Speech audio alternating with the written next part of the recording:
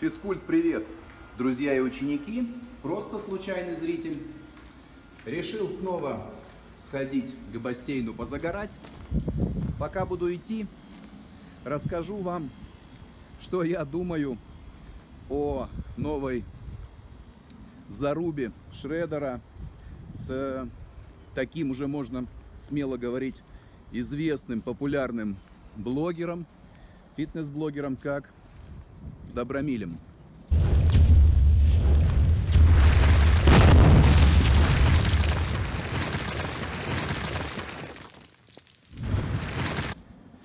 Кстати, парень действительно очень хорошо поднялся. У него еще буквально полгода назад было подписчиков меньше, чем на моем канале. Тысяч, тысяч на 20. Но сейчас у него уже намного больше. Уже 230 тысяч, по-моему, подписчиков у него.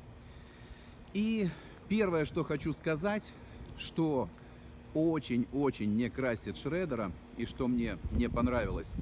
А пока я высказываю свое мнение, любуйтесь видами, которые открываются на местность, вот где я живу. Это я вот вышел из дома и иду к бассейну. Не завидуйте, друзья, все могут так жить, кто захочет.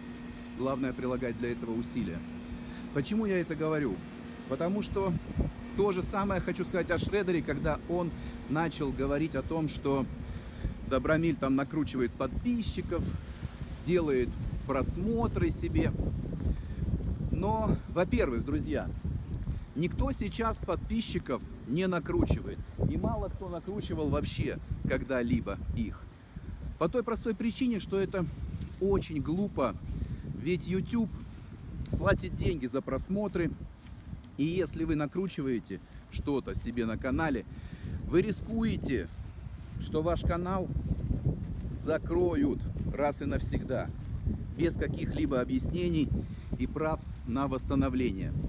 Я не думаю, что человек какой-нибудь в здравом уме пойдет на такой риск, по той простой причине, что Добромиль тоже не первый день, не первый год на, э, на YouTube.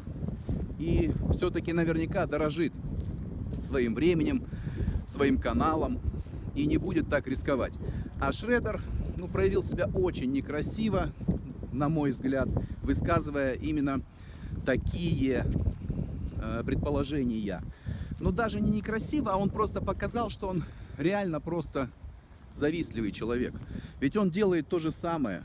Ну и все мы, кто снимает какие-никакие блоги, вот я сейчас снимая обзор на это ихнее совместное видео, потому что Добромиль тоже выпустил ответ Шредеру на его заявление. Все мы стремимся набирать как можно больше просмотров, подписчиков, несмотря кому для чего это нужно. Кто-то на этом зарабатывает. Я на этом не зарабатываю, но и мне приятно, когда у меня много подписчиков, много просмотров. Это что касается того, что Шредер говорил, да и в принципе о других тоже наверняка он так говорит. И все, кто говорит в таком тоне, в таком направлении, на мой взгляд, просто завистники. Ох, гольфисты потеряли мячик завистливые люди. Сделай то же самое. Докажи. Говорить о том, что кто-то накручивает подписчиков и просмотры, ну настолько нелепо. Это не Инстаграм, где до сих пор позволяют так себя вести. Но я думаю, это тоже скоро прекратится, потому что Инстаграм тоже э, платит хорошие деньги. Сейчас, кстати, э, больше денег за рекламу. И, по-моему, вся реклама постепенно перетекает с YouTube в Instagram. Для рекламодателей эта платформа гораздо интереснее сейчас. Такие вот дела. Что касается того, что Добромиль советует принимать постоянно дрещам быстрые углеводы. Ну, это показывает только о том, что он, впрочем, как и Шредер, тоже не понимают значение. Забыл код. Преимущество силы, что можно вскрыть замок. без помощи кода. Вот такой у меня бассейн, чуть ли не эксклюзивный мой. Здесь практически никогда никого не бывает. Сейчас вам покажу. Такое вот шикарное место. Три бассейна. Один бассейн такой вот мощный, большой, с обычной водичкой. Вот там вы видите водопад, там бассейн с реально ледяной водой. Но вот рядышком, правее, там джакузи, там реально горячая вода.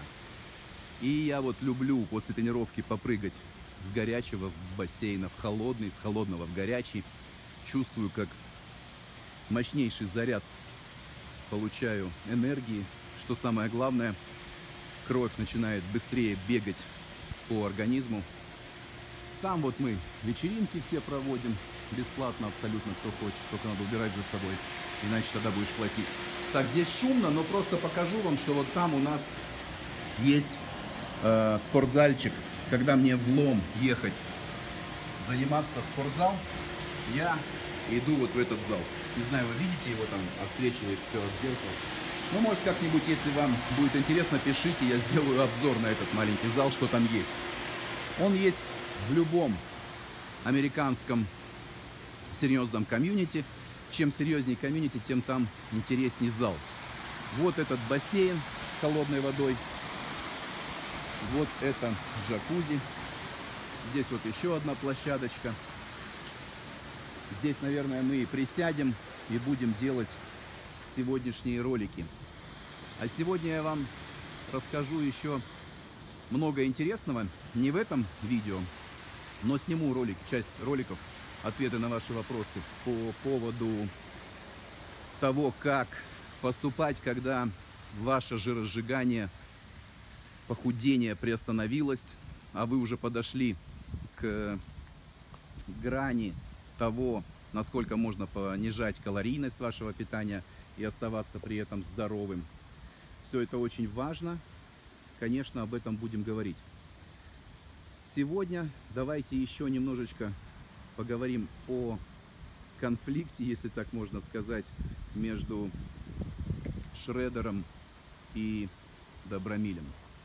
Вернемся к нашим баранам, а именно к инсулину и к пище с высоким, неправильно говорить на самом деле, гликемическим индексом, в том контексте, о котором рассуждают, что Шредер, что Добромиль, а нужно говорить именно о инсулиновом отклике, инсулиновом индексе. Э, это не такое э, давнее понятие, мало кто о нем знает. И любая пища, как вы знаете, способна вызывать выброс инсулина, но это гликемический индекс, то насколько сильным и когда произойдет этот выброс, это уже инсулиновый индекс и инсулиновый отклик. Именно поэтому не советую никому есть молочку, особенно творог на ночь, как советует большинство. И вы знаете, что в интернете есть много роликов, якобы каким-то глюкометром там люди ели э, творог и мерили уровень инсулина, насколько он повышался или нет. Так вот, одна из моих учениц, она медик, она повернута на правильном питании, тоже прочитала мою статью про инсулин, изучила э, видео, которые я снимал на эту тему. И ей самой стало интересно, она у себя в лаборатории, имея абсолютно свободный доступ к этому, сделала реальные замеры. Так вот, я думал, что инсулин повышается после того, как вы съели творог, где-то часа через два. Так нет, оказалось через 45 минут. Мы делали каждые 45 минут. Выброс через 45 минут уже был очень высокий, самый высокий выброс инсулина после молочки. Но тоже не сразу, как вы понимаете, да? И через 2 часа он наоборот сошел уже на нет. О чем это говорит? Делайте выводы сами. И что касается пищи, и что советует Добромиль? Я, сове... я согласен со Шредером, что нельзя так поступать, даже если вы дрыщ. Хотите сжечь жир, хотите набирать мышечную массу, Умейте грамотно, понимая процессы, или даже не понимая, просто слушайте опыт э, людей. Не хочу намекать на себя, но вот посмотрите Татьяну, как мы подготовили. Никто не верит, даже здесь американцы, мои ученики, которых я тоже тренирую, девчонки, видя, как я ее тренирую, не верят, что она не делает кардио, не качает пресс. Но Таня до сих пор ест быстрые углеводы сразу по окончанию тренинга. Сразу, друзья. Вот о чем я всегда говорю и в чем разница. Потому что теория, это теория о том, что когда мы понижаем калорийность, когда она в профиците, да, мы худеем, а когда она в дефиците, э, наоборот, когда она в дефиците, мы худеем, когда в профиците мы набираем. Если придерживаться только этого, то логически, продолжая дальше э, размышления, можно есть абсолютно все, что угодно. Абсолютно. Просто не перебирать с калориями. То есть вы можете питаться тортами, пирожными, да, как советует Добромиль. Правда, я не знаю, это Шредер сказал, настолько ли он советует, потому что в ответах э, Шредеру Добромиль сказал, что он э, советует добирать только. Но опять-таки, если это делать грамотно после тренировки, быстрыми углеводами, будет польза. Если же вы будете, не разбираясь, слушая советы, э, неважно кого, есть быстрые углеводы, первой половине дня, вечером, вы с гарантией будете только жиреть. Ни о каком жиросжигании не может быть идти и речи вообще, абсолютно. Задумайтесь об этом. И представьте, что будет с вами, если вы будете есть одни булочки, пирожные, при этом не добирая даже калорий или находясь на, своем, э, на своей середине. Во что вы превратитесь? Не забывайте, что мы то, что мы едим. Я уважаю Шредера за то, какую форму он достиг. Но если сравнивать Шредера и Добромиля, то Добромиль гораздо симпатичнее в этом плане, симпатичнее с точки зрения того, что он преподносит людям уроки. Э, Причем на своем примере он тоже сбросил очень много килограмм. И по крайней мере к ранним его советам, ко всем, можно прислушиваться, потому что человек достиг определенного уровня, и он это показывает на себе.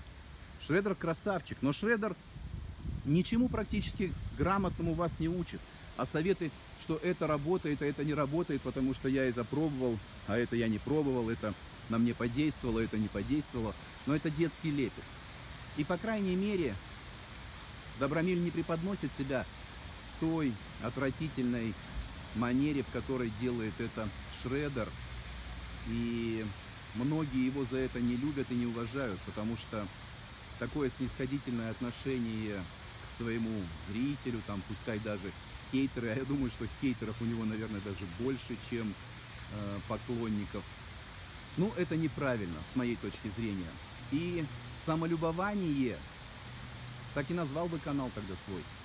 Но если вот выбирать, к примеру, по чьим рекомендациям тренироваться, конечно же, я больше посоветовал людям обратить внимание на канал Добромиля. В принципе, что вы и делаете, на мой взгляд, потому что сейчас его канал в топе, и люди устали от Борисова, устали тем более от Спаса Кукотского, которые тоже уже не знают, что делать, чтобы удерживать аудиторию. И все это, на мой взгляд, смешно. Нужно определиться, друзья, кто вы. Влогер, блогер. О чем я говорю? Хотите ли вы просто пиариться, как Шредер, или вы хотите преподносить людям какие-то полезные уроки, делиться своими советами? Ну и, естественно, нужно относиться с уважением ко всем своим зрителям, ко всем своим хейтерам, потому что хейтеры зачастую и сподвигают нас, блогеров, делать свою работу лучше, качественнее. Потому что любая критика, даже вот такая, э, которая подается в виде говна, она все равно наверняка полезна. Но я смотрю только через призму того, как я воспринимаю это все. Я стараюсь сделать больше полезных образовательных роликов, но вы просите меня, вы любите, и мне приходится тоже делать ролики подобного плана. Не знаю, давайте сделаем так.